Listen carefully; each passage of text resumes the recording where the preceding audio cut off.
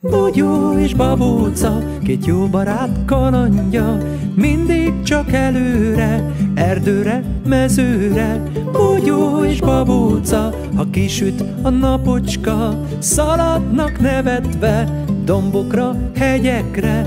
Bogyó és babóca, két jó barát kalandja. Az elveszett mogyoró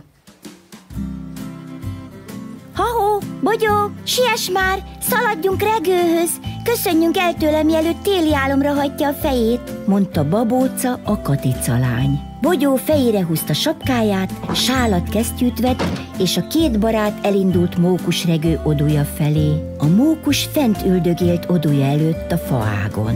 El akartunk köszönni, mielőtt bebújsz az odudba télire, kiáltott babóca. Gyertek, ígyunk egy búcsúszörpöt, és rákcsáljunk hozzá egy kis mogyorót, kínálta regő a barátait. Nézzétek, mennyi finom csemegét gyűjtöttem össze télire, tele az éléskamra. De jaj, az éléskamra teljesen üres volt. Segítség! Hová tűnt a sok magyaró, dió? Hol vannak a tobozok, makkok, mazsolák? Nézzétek! Azt hiszem, itt gurultak ki a mogyorók, mutatott Bogyó egy kis lyukra az éléskamra sarkában. Valaki megrákcsálta a fatörzset, kiáltott babóca. Hmm, és azt is tudom, ki volt az, tette hozzá a csiga fiú. Egyet se féregő, most rögtön előkerítjük a bajkeverőket, és megkeressük az elgurult mogyorókat.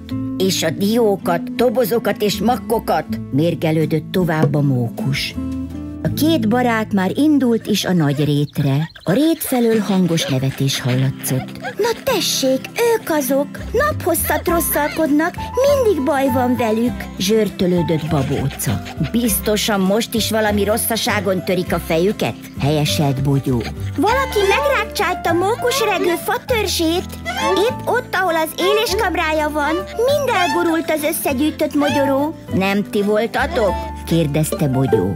Jaj, akartunk rosszat, mi csak rágtunk, és nem tudtuk, hogy épp ott van az éléskamra. Magyarázkodott a legkisebb szúbogár. Tudunk valahogy segíteni? Gyertek, meg kell keresnünk az elgurult mogyorókat. Nincs sok időnk, nem sokára leesik a hó, és akkor biztosan nem találjuk meg a csemegéket. Siessünk! Alaposan megvizsgálták együtt a fatörzset. A mogyorok itt gurultak ki, lepotyogtak a földre, és egyenesen végigkurultak a dombon. Magyarázta babóca. A domb aljában a cimborák rá is találtak az elgurult finomságokra. Hurrá! Újongott regő. Akkor most kérlek, hozzatok vissza minden falatot az ódumba, én addig bedeszkázom a lyukat, mondta regő a szúbogaraknak, és munkához látott. A mogyorókat, diókat, makkokat egyesével cipelték fel mókus regő odujába. Bogyó és babóca is segítettek. De hiába iparkodtak, vége felé közeledett a nap, és még hatalmas kupac várakozott a domb alján. Sosem végzünk, sóhajtott az egyik szúbogár. Jó volna egy kis segítség, tette hozzá a másik. Bogyó egyszer csak felpattant, és szó nélkül elszaladt. Amikor visszatért, magával hozta a trombitáját. Belefújt a trombitába, de olyan hangosan, hogy azt az erdő minden lakója hallotta. Csak hamar összegyűlt az erdő apraja és nagyja. Babóca felmászott egy nagy kőre, és elmesélte, mi történt mókusregő összegyűjtött mogyorójával. Mind elgurult, vissza kell vinnünk regő odójába. Ha mindenki segít, estig készen leszünk. Rajta, mondta Bogyó, és felvett egy szem mogyorót a kupacból. A mogyorót babócának adta, ő a szúbogaraknak, a szúbogár a méhecskének, a méhecske a szitakötőnek, és így tovább kézről kézre. Mire megjelent az égen a hold, a domb aljáról minden mogyoró, mak, dió és gesztenye visszavándorolt mókus regő éléskamrájába. Regő boldogan tette a helyére az utolsó szemgesztenyét. Köszönöm, újra teli az éléskamrám, mondta. De jó, hogy ilyen sok barátom van. Hamarosan lehullik a hó. Ideje, hogy visszavonuljak az odumba télire. Tavasszal találkozunk, mondta a mókus. Bogyó és babóca, két jó barát kalandja. Vendel korcsolyázik. Egy téli napon Bogyó és Babóca a tóparton sétálgattak. A tó vize vastagon befagyott. Gyere, babóca, csúszkáljunk egyet a jégen, javasolta a kis csiga. A Katica lány boldogan beleegyezett. Bogyó és babóca óvatosan rámerészkedtek a jégre. Összefogóztak, és csúsztak jobbra-balra. Nagyon jól érezték magukat. Hamarosan egészen belejöttek a csúszkálásba. Néha elestek, nagyokat nevettek, aztán felálltak és folytatták. Arra jött Vendel, a szarvasbogár. Vendel, próbáld ki te is! Gyere velünk csúszkálni! hívta barátját Bogyó. Vendel kicsit félt ugyan, de kíváncsi volt, ezért rálépett a jégre. Kiáltott nyomban, mert lábai kicsúsztak alóla, és hanyat vágódott. Bogyó és Babóca rögtön odaszaladtak barátjukhoz. Gyere, Vendel, majd mi segítünk! Azzal Bogyó és Babóca közrefogták Vendelt, és óvatosan elindultak a jégen. Akkor most elengedünk, és próbáld meg egyedül, kiáltott Babóca. A csiga fiú és a Katica lány elengedték Vendelt. Lassíts, Vendel! Kiabált Babóca. Vendel megpróbált megállni, de lábai szétcsúsztak a jégen, és egyenesen beleszáguldott a üskés bokorba. Segítség! Jaj!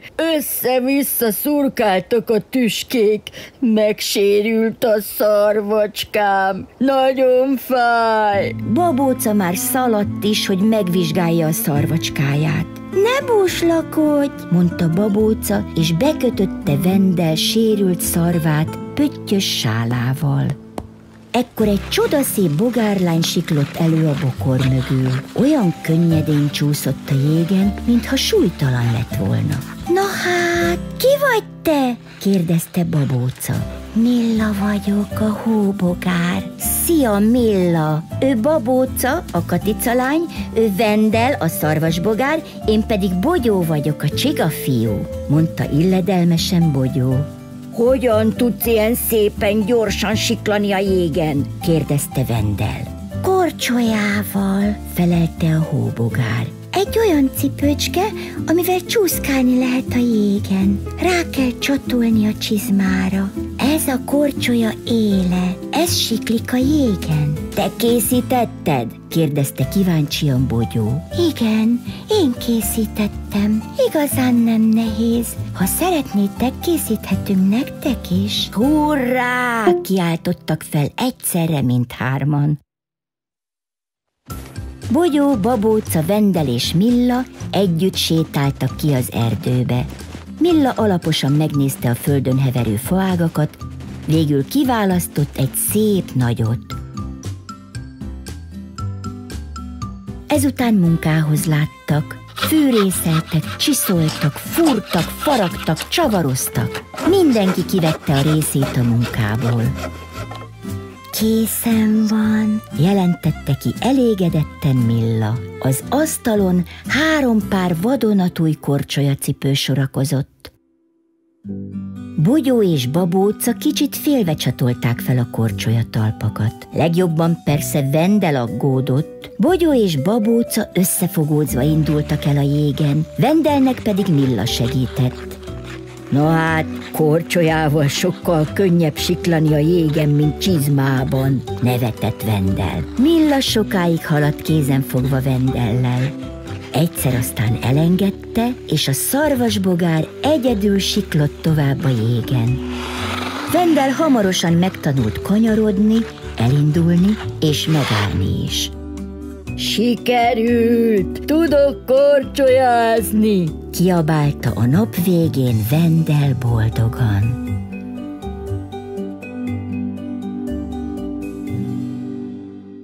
Bogyó és babóca, két jó barát kalandja.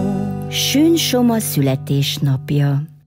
Egy nyári reggelen Bogyó a csiga fiú, Babóca a Katica lány és az erdő többi lakója együtt játszottak a réten. Felváltva lökték egymást a bükfa levél hintán.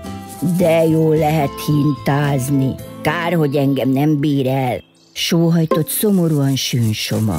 A többiek tanácstalanul néztek egymásra. Sünsoma tíz éves lesz jövő héten, mondta a Katica lány. Bizony, tíz éves lesz, helyeselt a csiga fiú. Vajon minek örülne legjobban? Tudom, minek örülne, mondta Baltazár, és felugrott örömében. Egy hintának. Ez nagyon jó ötlet. Ácsoljunk egy nagy hintát Somának, lelkendezett Babóca. A kis barátok nyomban munkához is láttak, fűrészt, kalapácsot, szegeket, csavarokat hoztak, erős faágakat kerestek. A hajó alakú fatörzset erős zsinórokkal kötötték fel a vastag faáglábakra. Amikor a hinta elkészült, mind elmentek Baltazár házába, és neki láttak tortát sütni. Tojást törtek, tésztát kevertek, járt a habverő, pudingot főztek, csattogott a fakanál.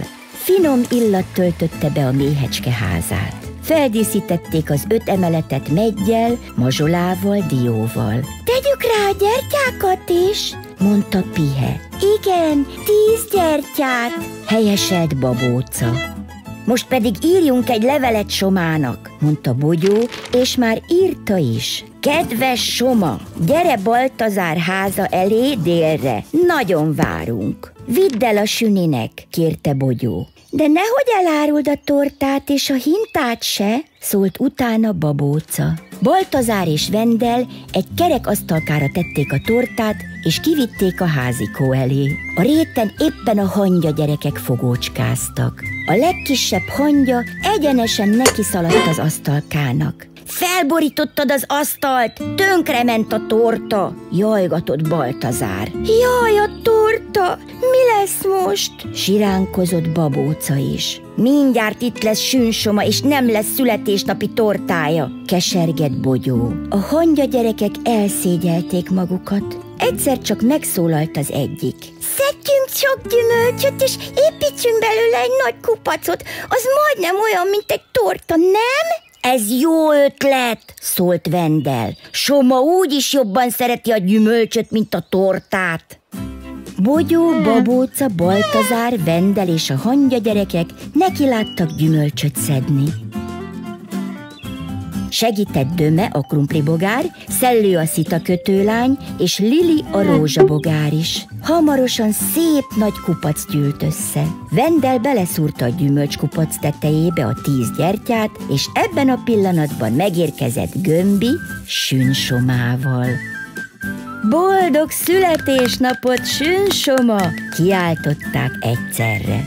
Mennyi gyümölcs, a kedvenceim, köszönöm szépen, kiáltotta Süni. Mutatunk neked valamit, mondta Babóca, és oda vezették Somát a hintához. A Süninek tátva maradt a szája a csodálkozástól. Na hát, egy szép nagy hinta, beleülhetek? kérdezte boldogan. Igen, neked építettük, mondta Bogyó. Hurrá! Már én is hintázhatok. Nagyon köszönöm. Hálálkodott Soma.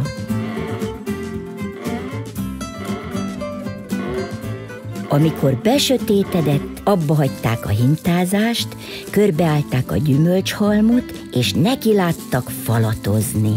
Addig falatoztak, míg a kupacból alig maradt valami.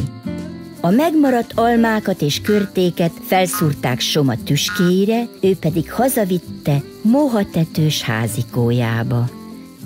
Boldogan hajtotta álomra a fejét, és arra gondolt, hogy holnap újra hintázni fog a barátaival. Bogyó és babóca, két jó barát kalandja.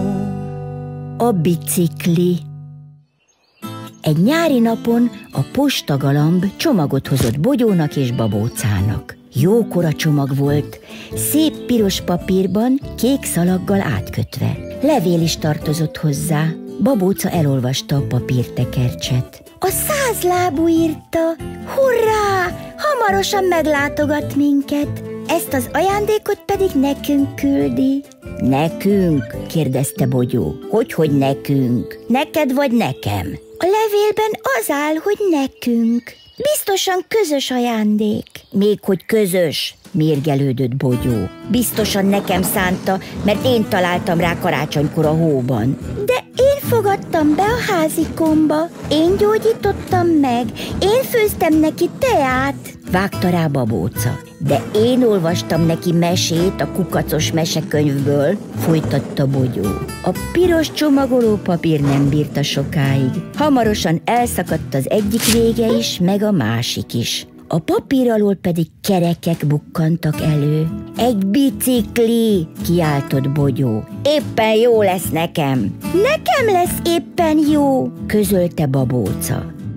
Jól van, vidd magaddal a biciklit, ha annyira akarod. Okos enged, szamár szenved. Én vagyok az okos, te vagy a szamár.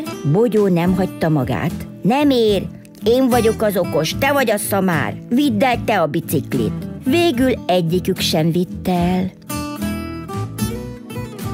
Duzzogva elvonultak, és a félig kicsomagolt biciklit ott hagyták a réten. Hamarosan arra jött Baltazár a méhecske, és Pihe a lepke kislány. Nézd csak, mi ez? Egy bicikli? kérdezte Baltazár. Igen, az, válaszolta Pihe. Levél is van hozzá, Bogyónak és Babócának a százlábútól. Toljuk el nekik, javasolta Baltazár. Megfogták, és ekkor az összes csomagolópapír lehullott az ajándékról. Nagyot nevettek. Nézd, ez egy tandem bicikli. Ketten ülhetnek rajta. Próbáljuk ki, mondta Baltazár. Ha-ho, Bogyó, ha-ho, babóca, meghoztuk a bicikliteket, ott hagytátok a réten. Kiáltozott Pihe. Bogyó és babóca előugrottak, a homlokukra csaptak, hiszen ez egy tandem bicikli, ketten is ráférünk. Mi pedig mekkorát civakodtunk rajta. Nyomban kibékültek, és összeölelkeztek örömükben. Micsoda szép ajándék! Mi pedig a nagy veszekedésben nem is készítettünk semmit a százlábunak, pedig mindjárt itt lesz, mondta riadtan Bogyó. Készítsünk a százlábunak egy szép, színes szélforgót, virágszirmokból, javasolta Pihe. Igen, nagyon jó ötlet, helyeselt Bogyó és Babóca. A négy jó barát piros, lila, fehér, sárga és rózsaszín virágszirmokból szélforgót fabrikált. Ebben a pillanatban megérkezett egér fogatán a százlábú. A kisegér megállt a réten, és a százlábú kiszállt a dióhéjhintóból. Boldogan összeülelkezett bogyóval és babócával. Látom, megkaptátok az ajándékomat. Remélem tetszik. Gyönyörű ajándék, nagyon örülünk neki, mondta Bogyó és Babóca. Mi pedig együtt készítettük neked ezt a szélforgót. A százlábú tíz napig maradt vendégségben Bogyónál és Babócánál. Nagyokat kirándultak együtt az új biciklin, beszélgettek, énekeltek, játszottak, remekül érezték magukat. A vidám napok hamar elszaladtak. Ideje, hogy elinduljak hazafelé. Nagyon jól éreztem magam nálatok, mondta a százlábú. Gyere el jövő nyáron is, mondta egyszerre Bogyó és Babóca.